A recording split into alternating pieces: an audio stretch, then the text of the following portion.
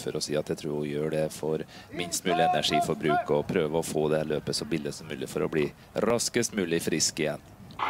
Ja, Det er viktig å komme i full trening.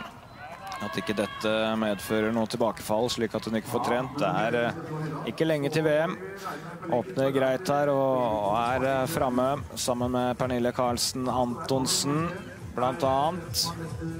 Som kommer innenfor eh, Hedda med nummer 144. Så har vi også lovende Løvnes med fram.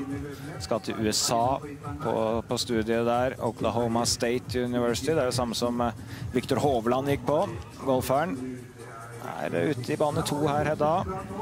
Ja, det er egentlig helt uproblematisk. Det det handler om nå, er å springe trygt og forsiktig. Om det blir en halvmeter eller en meter lenger med å ligge litt ut i banen, så er det å foretrekke framfor å krangle seg til en plass inn i lista og tilføre risiko til løpet. Det er unødvendig.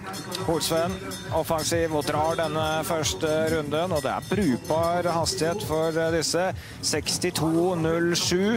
Det er eh, bra fart for de som har pers på 2.05, 2.06, 2.07. Ja, Olsen har tatt ansvar, da, for det her er en tøff åpning til, til HVR. Ja, Løvnes i andre posisjon, så Hedda Hynne og Karlsen Antonsen. Det er status quo, gjør ingenting foreløpig da, Hedda Hynne.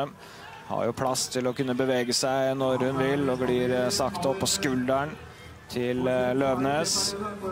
Litt respekt for Hedda og de andre jentene her, og eh, merittert løper i forhold til resten av feltet. Ja, så sklir eh, Løvnes opp i tet. Så Pernille Karlsen Antonsen bak, også klar til å angripe. Så kommer Malin Ingvård Nyfors fra Tjalve langt ute i bane to.